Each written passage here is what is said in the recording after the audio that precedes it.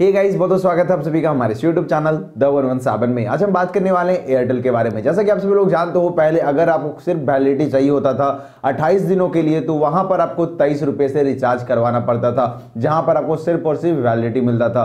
तो अब अगर आप सिर्फ़ वैलिडिटी चाहते हो, अगर आप चाहते हो कि आपका सिर्फ़ इनकमिंग कॉल आए तो उसके लिए अब तेईस से कम नहीं चलने वाला है। उसके लिए अब आपको मिनिमम फोर्टी फाइव का रिचार्ज करवाना पड़ेगा।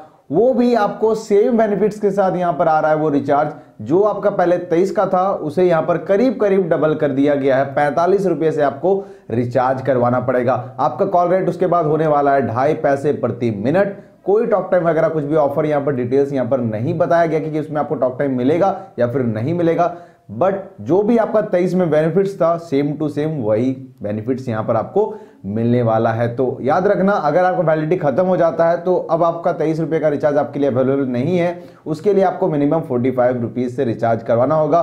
तो अब सोच लो वैलिडिटी के लिए आपको मिनिमम फोर्टी फाइव या फिर उससे ज़्यादा का रिचार्ज करवाना पड़ेगा। अदरवाइज़ एक बार आपका फ़ोन ग्रेस पीरियड में आ जाता है और जैसे आपका ग्रेस पीरियड खत्म होगा, उसके बाद आपका सिम बंद होना तय है। उसके बाद आपका सिम में आएगा सर्विस नॉट अवेलेबल नेटवर्क नहीं आएगा, आपका सिम कार्ड बंद हो जाएगा। तो अगर आप सिर्फ़ और सिर्फ़ वैलिडिटी चाहते हो तो मिनिमम आपको फोर्टी फाइव रुपीज़ से रिचार्ज करवाना पड़ेगा। तो दोस्तों, ये था आप सभी लोगों के लिए एक बैड न्यूज़ बैड न्यूज़ भाई साहब, बहुत ही ज़्यादा बैड न्यूज़ है कि जो मिनिमम प्लान था वो तेईस के बदले पैंतालीस करना पड़े। एयरटेल का यहाँ पर भाई, बहुत बड़ा गलती है ये, नहीं करना चाहिए था बट देखो, आए दिन प्राइसेस बढ़ते जा रहे हैं तो अब आगे क्या क्या सीन हमें देखने को मिलेगा, हम आपको ऐसे इन्फॉर्मेशन देते रहेंगे तो हमारे साथ आप ज़रूर बने रहें। तो दोस्तों, उम्मीद करता हूँ आज का वीडियो आप सभी को अच्छा लगा होगा। अगर अच्छा लगता है तो एक लाइक से ज़रूर देना, इस वीडियो को जितना हो सके उतना शेयर करो, और चैनल को अभी तक सब्सक्राइब नहीं किया तो वो भी करके ही जाना। तो दोस्तों, मिलता हूँ एक और नए वीडियो में, तब तक के लिए हँसते रहे, खेलते रहे, और बोलते रहे, भारत माता की जय।